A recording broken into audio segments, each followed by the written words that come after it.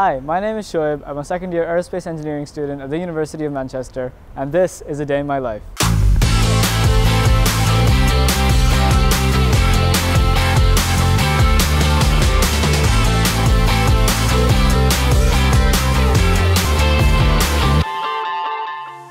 First up today we have the practical workshop session. It's a great chance to get some hands-on experience in welding, milling, lathe and the bench exercise. Last time I tried welding and today I'll be doing the bench exercise.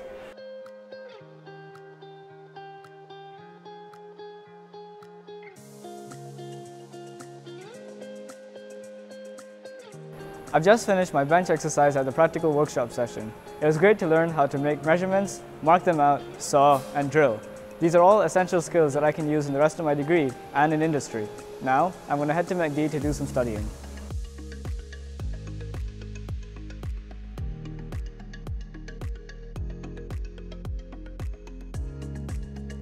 Now I've come to MECD to get some work done. If you're with a group, you can book one of the study rooms to work together. Or if, like today, you're working by yourself, you can choose from one of the many study spots around the building. MECD really has something for everyone. I'm done with my work at MECD now. I've got tickets with my friends to go watch a Man United game at Old Trafford this weekend, which I'm really excited for. Now, I'm going to head to the club shop to get some merch for the game.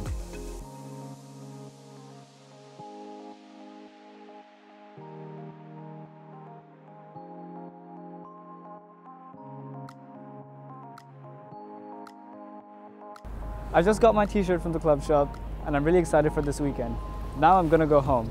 I'm to use the tram, but I could have also used the bus. Manchester has great transport links. We've got the tram, the bus, trains, and we've also got an international airport, which is really handy for me because that means I can easily go home to India and visit family.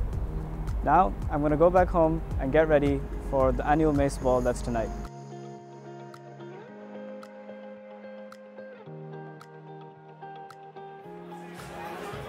Now I'm at the annual Mace Ball. I helped organize it this year as part of the AeroSoc committee, and it's the first one we've had since the pandemic, so I'm really excited for it. The ball is a great opportunity to meet staff and students from across the department and socialize outside of university. Now I'm going to head back to my friends.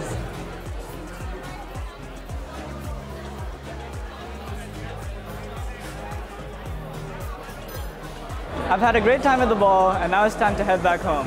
Thanks for joining me today and I hope to see you in Manchester soon.